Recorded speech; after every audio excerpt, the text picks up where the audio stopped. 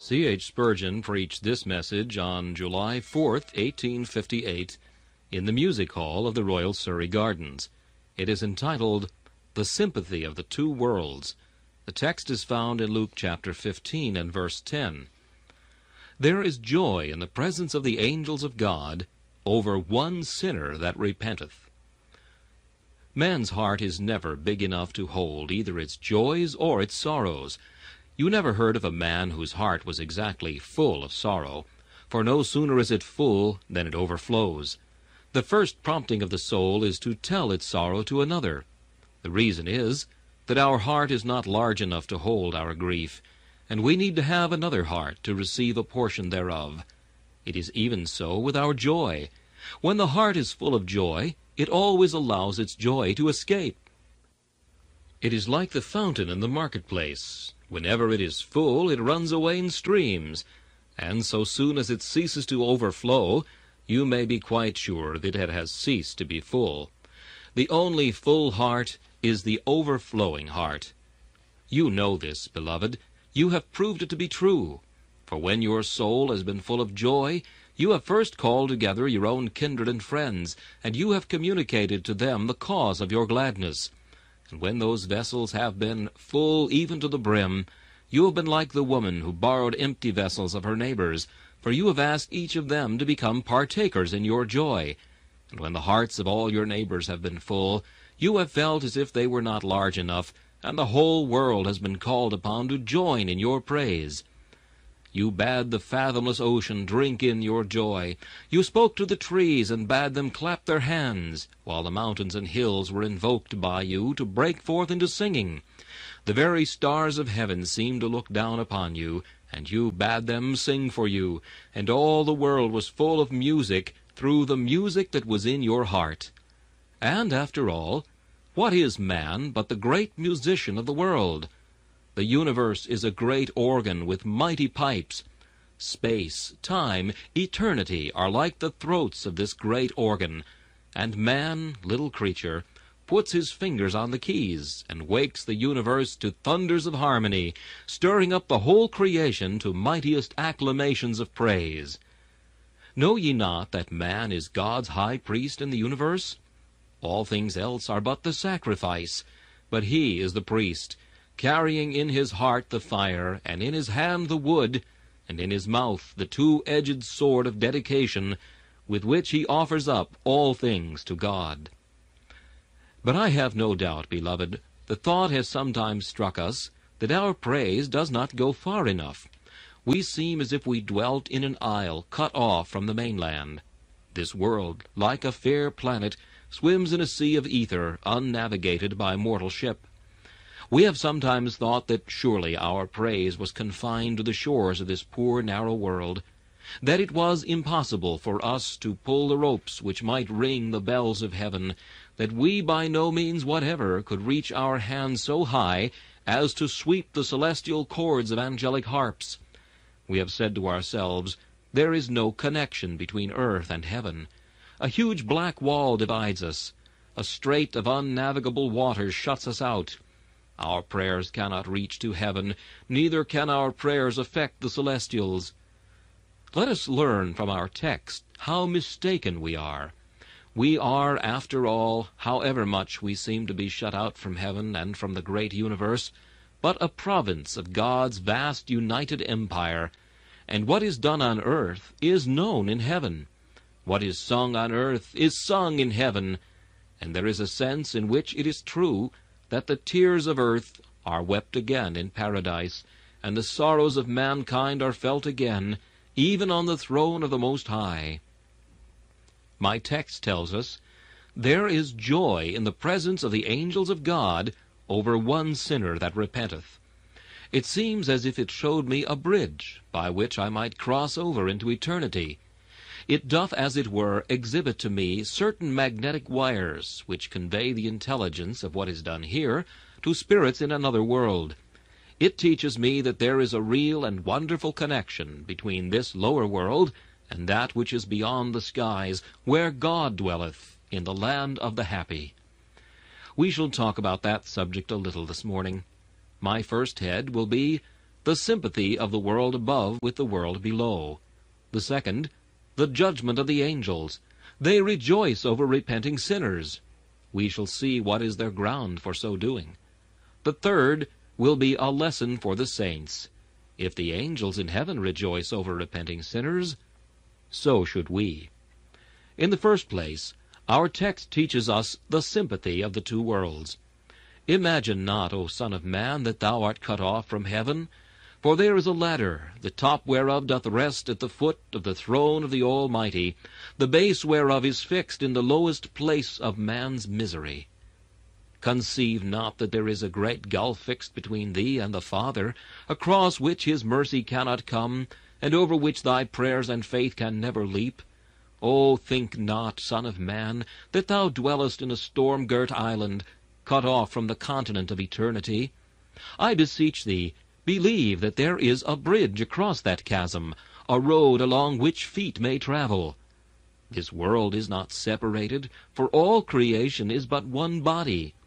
And know thou, O Son of Man, though thou in this world doth but dwell, as it were, on the foot, yet from the feet even to the head there are nerves and veins that do unite the whole. The same great heart which beats in heaven beats on earth. The love of the eternal Father which cheers the celestial makes glad the terrestrial too. Rest assured that though the glory of the celestial be one, and the glory of the terrestrial be another, yet are they but another in appearance, for after all they are the same. O list thee, Son of Man, and thou wilt soon learn that thou art no stranger in a strange land, a houseless Joseph in the land of Egypt, shut out from his father and his children, who still remain in the happy paradise of Canaan. No, thy father loves thee still. There is a connection between thee and him. Strange that though leagues of distance lie between the finite creature and the infinite Creator, yet there are links that unite us both. When a tear is wept by thee, Think not thy Father doth not behold. For like as a father pitieth his children, so the Lord pitieth them that fear him. Thy sigh is able to move the heart of Jehovah. Thy whisper can incline his ear unto thee. Thy prayer can stay his hands. Thy faith can move his arm. O think not that God sits on high in an eternal slumber, taking no account of thee. Shall a mother forget her suckling child, that she should not have compassion on the son of her womb? Yea, she may forget, yet will I not forget thee. Engraven upon the Father's hand thy name remains, and on his heart recorded there thy person stands. He thought of thee before the worlds were made, before the channels of the sea were scooped, or the gigantic mountains lifted their heads in the white clouds. He thought of thee. He thinketh on thee still. I, the Lord, do keep it. I will water it every moment. Lest any hurt it, I will keep it night and day. For the eyes of the Lord run to and fro in every place, to show himself strong on the behalf of all that fear him. Thou art not cut off from him. Thou dost move in him. In him thou dost live and have thy being. He is a very present help in time of trouble. Remember again, O heir of immortality, that thou art not only linked to the Godhead, but there is another one in heaven with whom thou hast a strange yet near connection. In the center of the throne sits one who is thy brother, allied to thee by blood. The Son of God, eternal, equal with his Father, became in the fullness of time the Son of Mary, an infant of a span long. He was, yea, is, bone of thy bone, and flesh of thy flesh. Think not that thou art cut off from the celestial world, while he is there. For is he not thy head? And hath he not himself declared that thou art a member of his body, of his flesh, and of his bones? O man, thou art not separated from heaven, whilst Jesus tells thee, I feel at my heart all thy sighs and thy groans. For thou art most near me, my flesh and my bones. In all thy distresses thy head feels the pain. They all are most needful. Not one is in vain. O poor disconsolate mourner, Christ remembers thee every hour. Thy sighs are his sighs, thy groans are his groans, thy prayers are his prayers. He in his measure feels afresh what every member bears. Crucified he is when thou art crucified, he dies when thou diest. Thou livest in him, and he lives in thee, and because he lives, shalt thou live also. Thou shalt rise in him, and thou shalt sit together in the heavenly places with him. Oh, never was husband nearer to his wife, and never head nearer to the members, never soul nearer to the body of this flesh than Christ is unto thee. And while it is so, think not that heaven and earth are divided. They are but kindred worlds, two ships moored close to one another, and one short plank of death will enable you to cross from one to the other. This ship, all black and coaly, having done the coasting trade, this dusty business of today, and being full of the blackness of sorrow, and that ship, all golden, with its painted pennon flying, and all its sails spread white as the down of the sea-bird, fair as the angel's wing. I tell thee, man, the ship of heaven is moored side by side with the ship of earth, and rock though this ship may, and career though she will on stormy winds and tempests, yet the invisible and golden ship of heaven sails by her side, never sundered, never divided, always ready, in order that when the hour shall come, thou mayest leap from the black dark ship, and step upon the golden deck of that thrice happy one, in which thou shalt sail for ever. But, O man of God, there are other golden links besides this which bind the present to the future, and time unto eternity. And what are time and eternity, after all, to the believer, but like the Siamese twins, never to be separated. This earth is heaven below, the next world is but a heaven above. It is the same house, this is the lower room, and that the upper, but the same roof covers both, and the same dew falls upon each. Remember, beloved, that the spirits of the just men made perfect are never far from you and me, if we are lovers of Jesus. All those who have passed the flood have still communion with us. Do we not sing, The saints on earth and all the dead but one communion make? All join in Christ, the living head, and of his grace partake. We have but one head for the church triumphant and for the church militant. One army of the living God, to his command we bow. Part of the host have crossed the flood, and part are crossing now. Doth not the apostle tell us that the saints above are a cloud of witnesses? After he had mentioned Abraham and Isaac, and Jacob and Gideon and Barak and Jephthah, did he not say, Wherefore, seeing we also are compassed about with so great a cloud of witnesses, let us lay aside every weight. Lo, we are running in the plains, and the glorified ones are looking down upon us. Thy mother's eyes follow thee, young man. A father's eyes are looking down upon thee, young woman.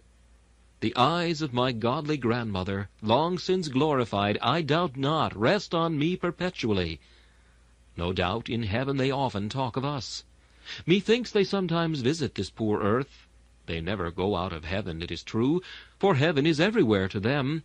This world is to them but just one corner of God's heaven, one shady bower of paradise. The saints of the living God are, I doubt not, very near unto us, when we think them very far away. At any rate they still remember us, still look for us, for this is ever upon their hearts, the truth that they without us cannot be made perfect. They cannot be a perfect church till we are gathered in, and therefore do they long for our appearing. But to come to our text a little more minutely, it assures us that the angels have communion with us. Bright spirits, firstborn sons of God, do ye think of me? O cherubim, great and mighty, seraphim burning, winged with lightning, do ye think of us? Gigantic is your stature. Our poet tells us that the wand of an angel might make a mast for some tall admiral, and doubtless he was right when he said so. Those angels of God are creatures mighty and strong, doing his commandments, hearkening to his word. And do they take notice of us? Let the Scripture answer. Are they not all ministering spirits, sent forth to minister unto those that shall be heirs of salvation? The angel of the Lord encampeth round about them that fear him. For he shall give his angels charge over thee, to keep thee in all thy ways. They shall bear thee up in their hands, lest thou dash thy foot against a stone. Yes, the brightest angels are but the serving men of the saints. They are our lackeys and our footmen. They wait upon us. They are the troops of our bodyguard, and we might, if our eyes were opened, see what Elisha saw, horses of fire and chariots of fire round about us, so that we should joyously say, More are they that are with us than they that are against us. Our text tells us that the angels of God rejoice over repenting sinners. How is that? They are always as happy as they can be. How can they be any happier? The text does not say that they are any happier, but perhaps that they show their happiness more. A man may have a Sabbath every day, as he ought to have if he be a Christian, and yet on the first day of the week he will let his Sabbatism come out plainly, for then the world shall see that he doth rest. A merry heart hath a continual feast, but then even the merry heart hath some special days on which it feasteth well. To the glorified every day is a Sabbath, but of some it can be said, And that Sabbath was an high day.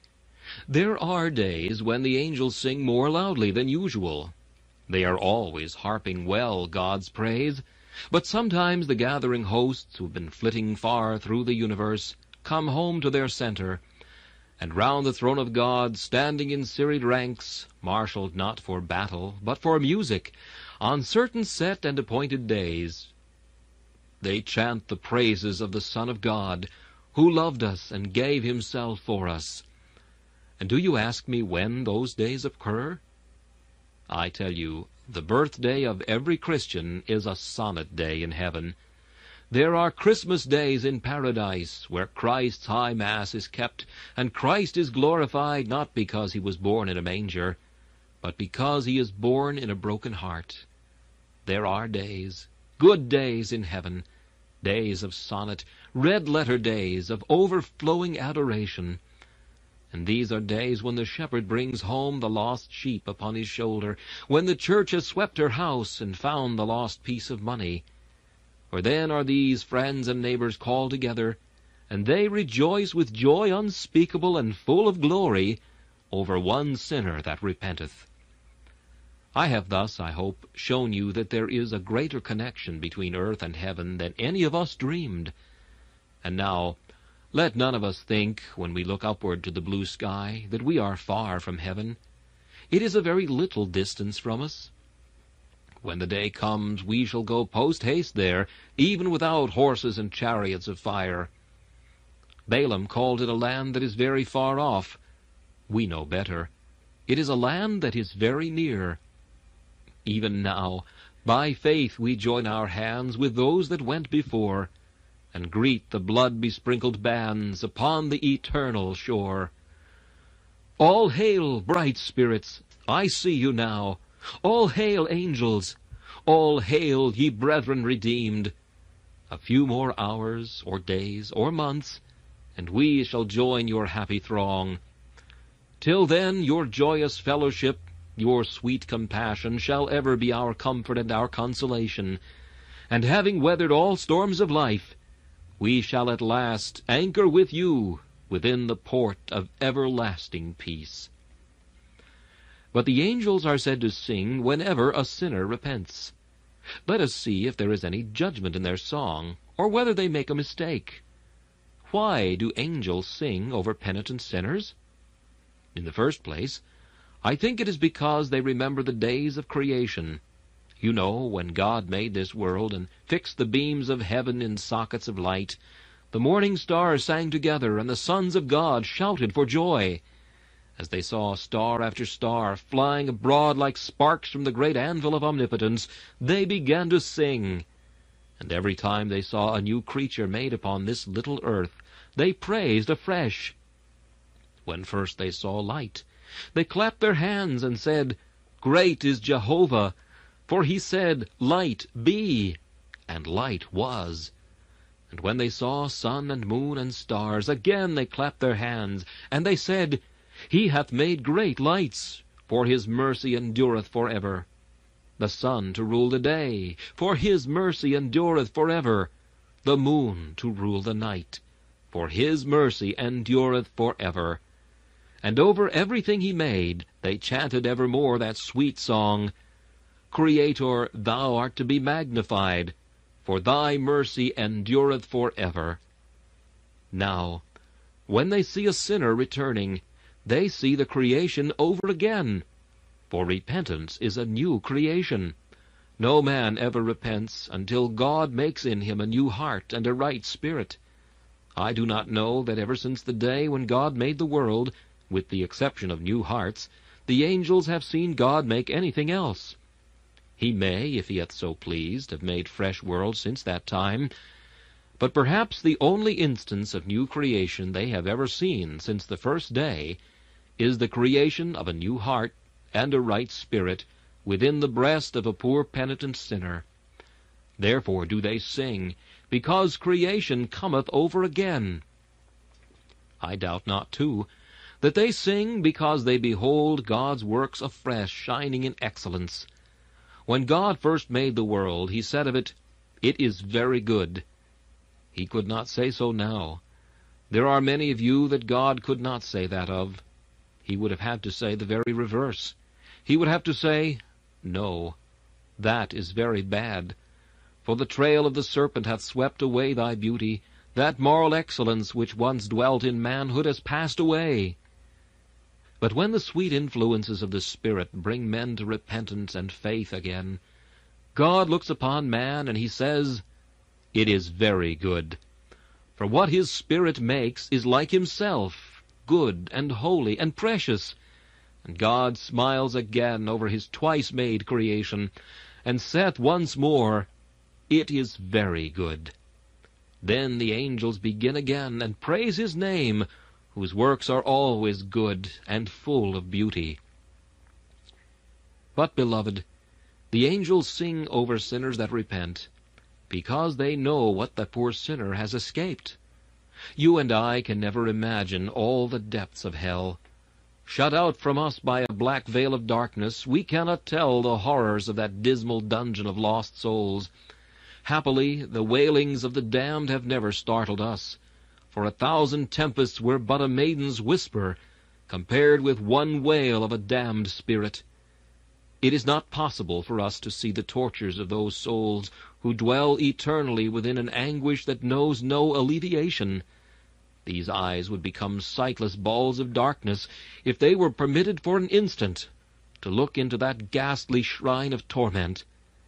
Hell is horrible, for we may say of it, Eye hath not seen, nor ear heard, neither hath it entered into the heart of man, to conceive the horrors which God hath prepared for them that hate him.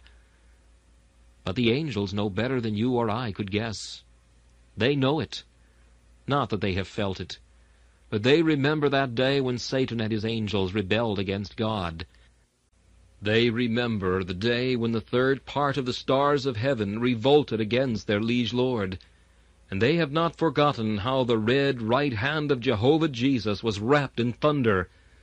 They do not forget that breach in the battlements of heaven, when down from the greatest heights to the lowest depths Lucifer and his hosts were hurled.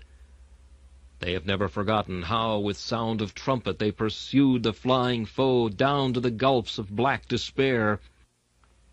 And as they neared that place where the great serpent is to be bound in chains, they remember how they saw Tophet, which was prepared of old, the pile whereof is fire and much wood.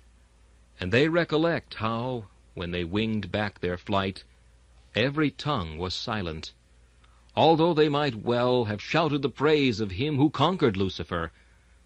But on them all there did sit a solemn awe of one who could smite a cherubim, and cast him in hopeless bonds of everlasting despair. They knew what hell was, for they had looked within its jaws, and seen their own brothers fast enclosed within them.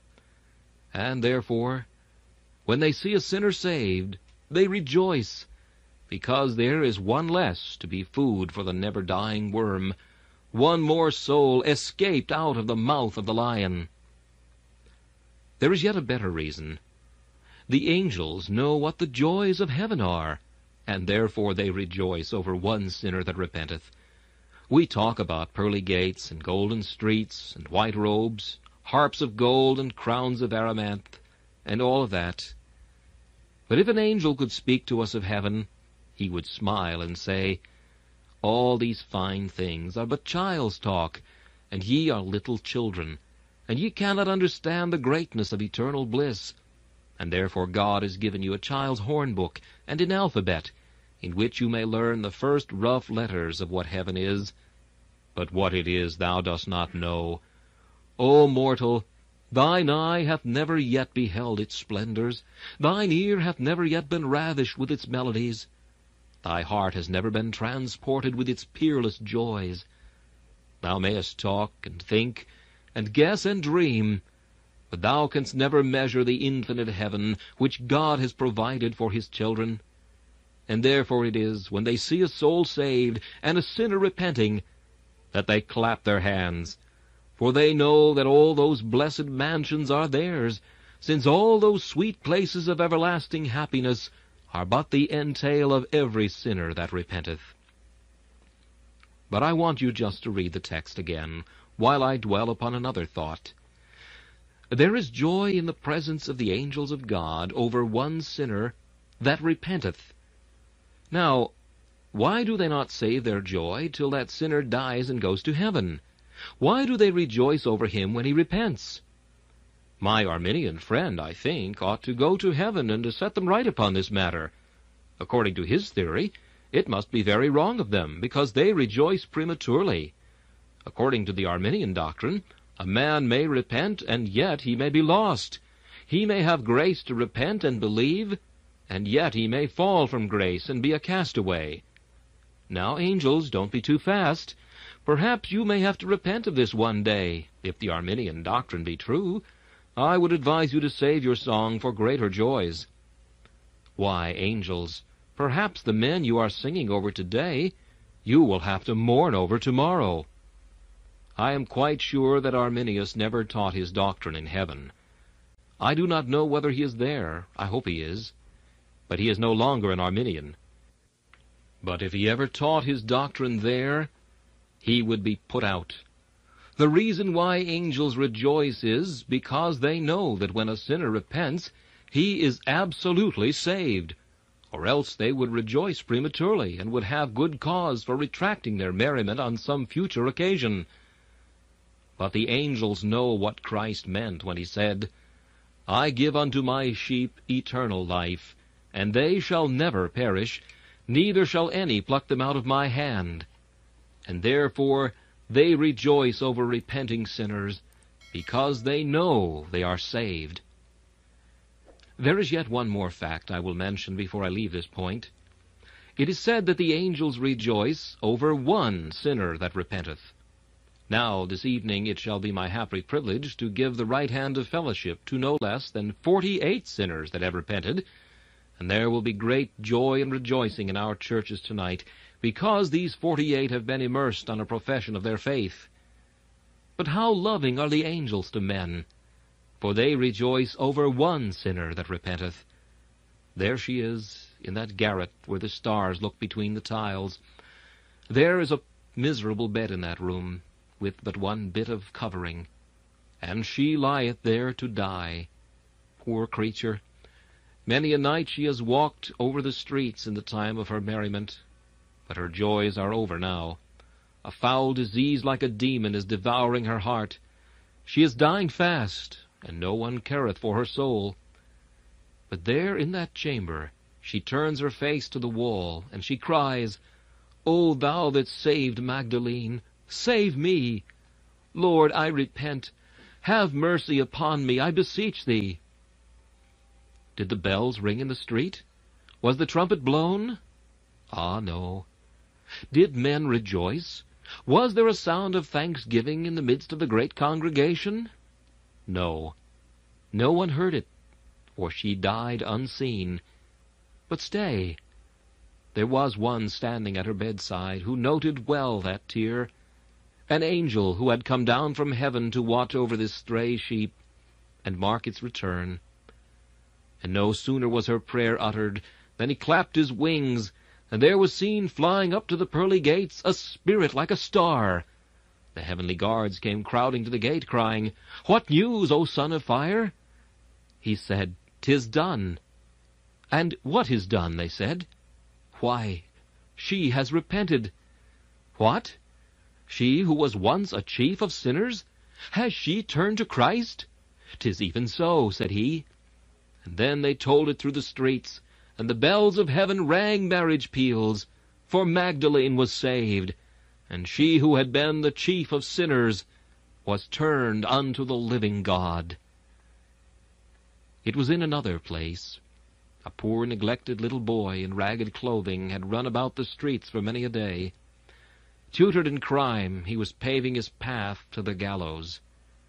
But one morning he passed by a humble room, where some men and women were sitting together teaching some poor ragged children. He stepped in there, a wild Bedouin of the streets. They talked to him. They told him about a soul and about an eternity, things he had never heard before. They spoke of Jesus and of good tidings of great joy to this poor friendless lad. He went another Sabbath, and another, his wild habits hanging about him, for he could not get rid of them. At last it happened that his teacher said to him one day, Jesus Christ receiveth sinners. That little boy ran, but not home, for it was but a mockery to call it a home, where a drunken father and a lascivious mother kept a hellish riot together. He ran, and under some dry arch, or in some wild, unfrequented corner, he bent his little knees, and there he cried, that poor creature in his rags, Lord, save me, or I perish. And the little Arab was on his knees. The little thief was saved. He said, Jesus, lover of my soul, let me to thy bosom fly. And up from that old arch, from that forsaken hovel, there flew a spirit, glad to bear the news to heaven that another heir of glory was born to God. I might picture many such scenes, but will each of you try to picture your own? You remember the occasion when the Lord met with you? Ah, little did you think what a commotion there was in heaven. If the Queen had ordered out all her soldiers, the angels of heaven would not have stopped to notice them. If all the princes of earth had marched in pageant through the streets with all their robes and crowns and jewelry, and all their regalia, their chariots and their horsemen, if the pomps of ancient monarchies had risen from the tomb, if all the might of Babylon and Tyre and Greece had been concentrated into one great parade, yet not an angel would have stopped in his course to smile at those poor tawdry things. But over you, the vilest of the vile, the poorest of the poor, the most obscure and unknown, over you angelic wings were hovering, and concerning you it was said on earth and sung in heaven, Hallelujah!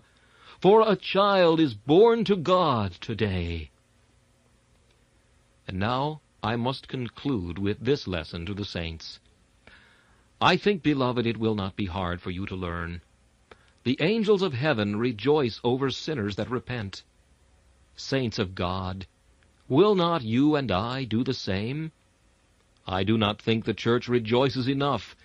We all grumble enough and groan enough, but very few of us rejoice enough. When we take a large number into the church, it is spoken of as a great mercy. But is the greatness of that mercy appreciated? I will tell you who they are that can most appreciate the conversion of sinners, they are those that are just converted themselves, or those that have been great sinners themselves. those who have been saved themselves from bondage, when they see others coming who have so lately worn the chains, are so glad that they can well take the tabret and the harp and the pipe and the psaltery and praise God that there are other prisoners who have been emancipated by grace. But there are others that can do this better still, and they are the parents and relations of those that are saved. You have thanked God many times and you have seen a sinner saved. But, mother, did not you thank him most when you saw your son converted? Oh, those holy tears! They are not tears. They are God's diamonds, the tears of a mother's joy when her son confesses his faith in Jesus. Oh, that glad countenance of a wife when she sees her husband, long bestial and drunken, at last made into a man and a Christian. Oh, that look of joy which a young Christian gives when he sees his father converted, who had long oppressed and persecuted him. I was preaching this week for a young minister, and being anxious to know his character, I spoke of him with apparent coolness to an estimable lady of his congregation. In a very few moments she began to warm in his favor. She said, You must not say anything against him, sir. If you do, it is because you do not know him. Oh, I said, I knew him long before you did. He is not much, is he? Well, she said, I must speak well of him, for he has been a blessing to my servants and family. I went out into the street and saw some men and women standing about. So I said to them, I must take your minister away. If you do, they said, we will follow you all over the world if you take away a man who has done so much good to our souls. After collecting the testimony of fifteen or sixteen witnesses, I said, if the man gets such witnesses as these, let him go on. The Lord has opened his mouth, and the devil will never be able to shut it. These are the witnesses we want, men who can sing with the angels because their own household are converted to God. I hope it may be so with all of you. And if any of you are yourselves brought to Christ today, for he is willing to receive you, you will go out of this place singing, and the angels will sing with you. There shall be joy in earth, and joy in heaven, and on earth peace and glory to God in the highest. The Lord bless you, one and all, for Jesus' sake. This message, The Sympathy of the Two Worlds, was preached by Charles Haddon Spurgeon on July 4th, 1858. This is Charles Kelsch inviting you to join me again for another message from the Prince of Preachers.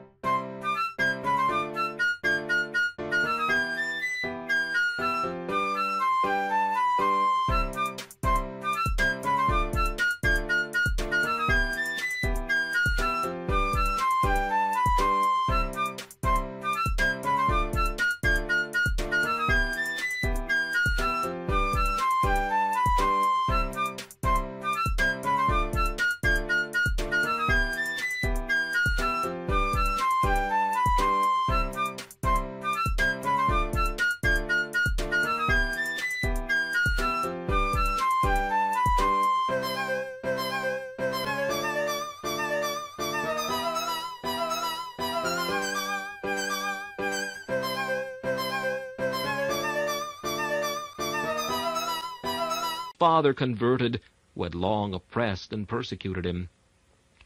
I was preaching this week for a young minister, and being anxious to know his character, I spoke of him with apparent coolness to an estimable lady of his congregation.